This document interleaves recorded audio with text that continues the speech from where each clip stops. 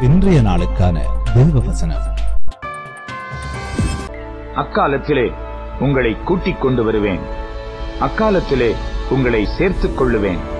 உங்கள் கண் காண நான் உங்கள் சிறையிருப்பை திருப்பும் போது பூமியிலுள்ள சகல ஜனங்களுக்குள்ளும் நான் உங்களை கீர்த்தியும் புகழ்ச்சியுமாக வைப்பேன் என்று கர்த்தர் சொல்லுகிறார்.